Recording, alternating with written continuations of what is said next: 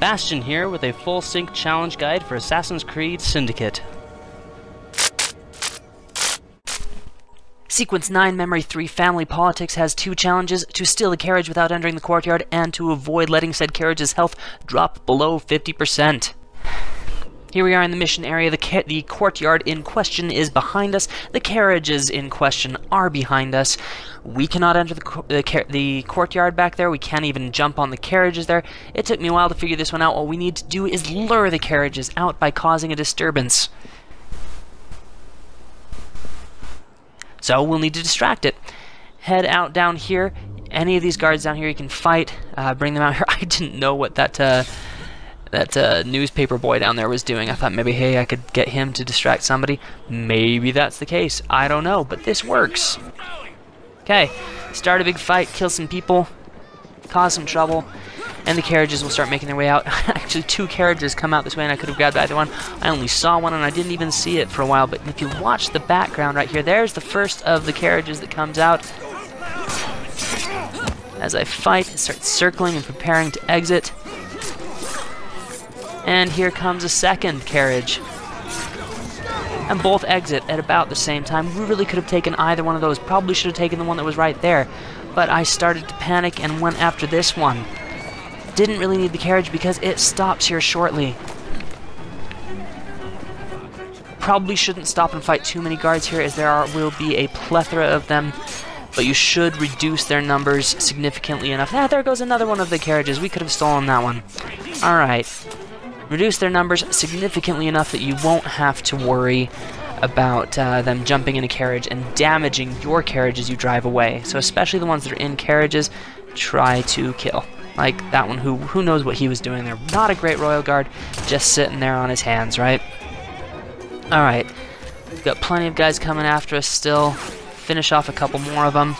And then we'll jump in our carriage and try to complete the mission without damaging it too much. I did not do a very great job on this particular playthrough of keeping the carriage from getting damaged because I managed to get caught. The number one thing you want to do is avoid getting in fights with the police or with the blighters because doing so will uh, let them damage your carriage. Alright, after this guy, I think we've had enough. Let's go ahead and grab the carriage and run. You're currently sort of incognito so it's a good time to go.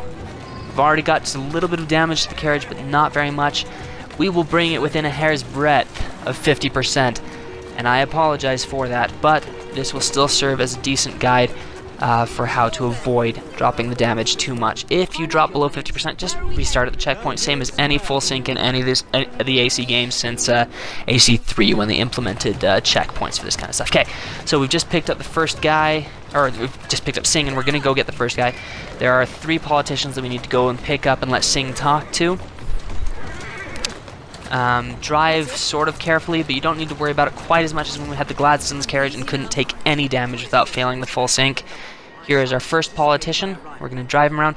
Thing is, you're going to have a time limit, so you will need to reach an objective marker before the time runs out. So you will need to drive quickly. You can't just uh, follow traffic. There is going to be a carriage accident up ahead, which provides a small, meaningless obstacle for you to drive around. Um, so just make your way around that. Follow your uh, the path shown to you for your objective marker, and you should be able to get there in decent time. Don't drive too fast again. You may use boosts on the straightaways, but as I said in the previous mission, using, or uh, two missions back with the Gladstone's carriage, using boosts will make it so you lose some of the control that you have. Okay, so here's the end of the first trip. We'll drop him off, go pick up a second politician, and drive him around.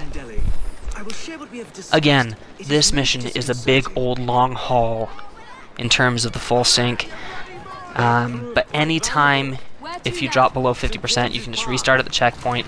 I don't know if it will refill your health fully. I doubt it. But you will probably get back to whatever amount of health you had in the carriage when the checkpoint started. Well, that was a problem, you see. One must not allow personal feelings to compromise one's mission. That sounds like a quotation. It is. From my father. Ethan Frye. You knew him?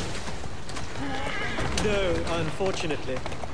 But Mr. Green spoke of him. Watch out for that carriage right there. It will cause you a little bit of trouble if you hit it head on. He was, Your Highness. And your mother as well, Cecily Frye. She and your father were partners, inseparable. The only duo that came close to challenging Mr. Starrick. And very much in love, at least from the small amount I have been told. Cecily. I wish I could have met her. From what Mr. Green gathered, you share much in common. Your intelligence, for one. Father never spoke of her.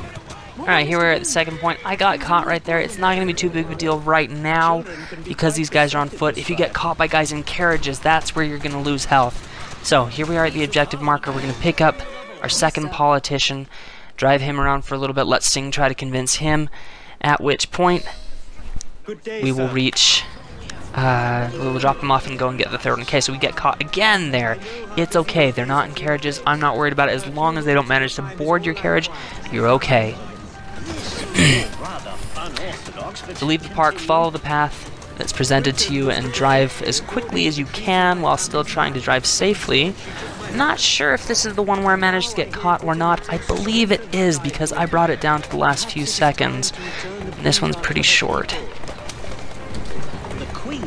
Maybe not. We've got a straightaway. I can't remember. It doesn't matter. I'll let you know. Here it is. Here it is. We got rammed by a police carriage.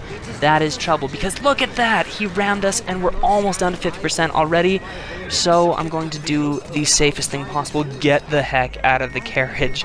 I know I only have 30 seconds left at this point, but it works out. And finish these guys as quickly as you can if you have to get out and kill them.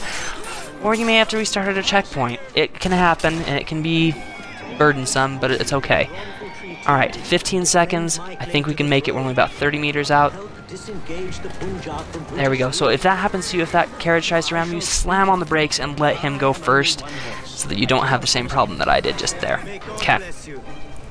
So here we are. I'm going to drop this guy off, and then we're going to go and pick up our final politician and drive him around for a bit. At this point, because I'm down to basically, I don't know, like 52 or 53% health, I have to drive as carefully as possible because mm, a couple of hits, maybe, and I'll be gone. I think I do get hit barely by one carriage at one point, drops me down just a little bit, and I still managed to keep above 50%. So here we are, picking up the last politician. I believe this is uh, Gladstone, isn't it? Yes, it is, Mr. Gladstone. Oh, how how he just keeps coming back, right? Okay, so we're going to drive him around. We've got a bit of a longer drive right here. We've also got a, significantly more time than we did on the last drive.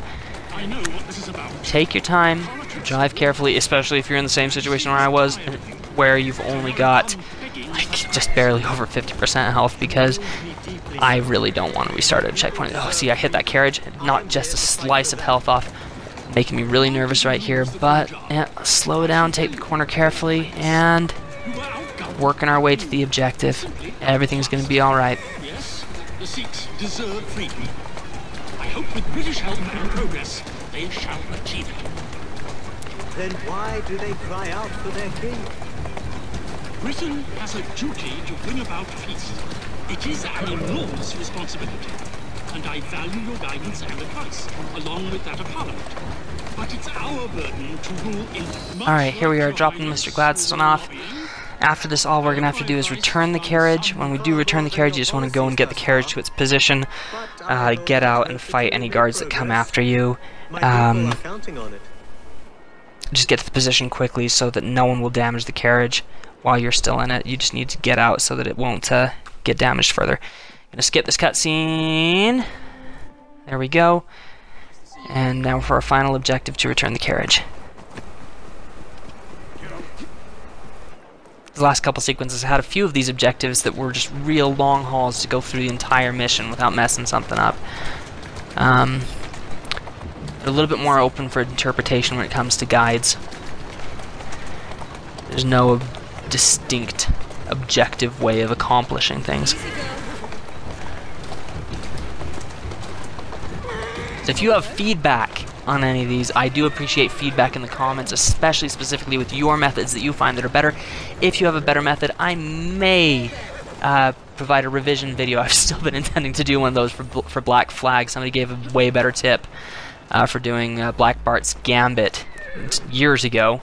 Um, and I've intended for this whole time to make a video thanking them for that and showing their method because their method works so much better than what I showed in my video. Anyway, like I said, get here to the objective marker, jump out, finish off any guards that come after you, and once you are incognito, leave the area, and the mission will be done.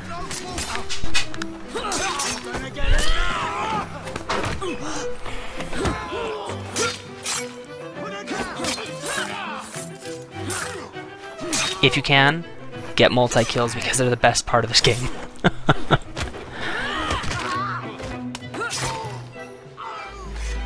those two guys out there like, what, what, what's going on? Nothing's going on. Alright, time to leave.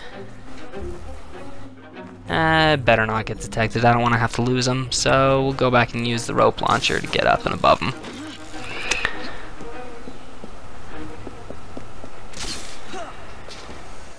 Once we're gone and we're out, the mission will be done. If you liked this incredibly long guide, please give it a thumbs up down below.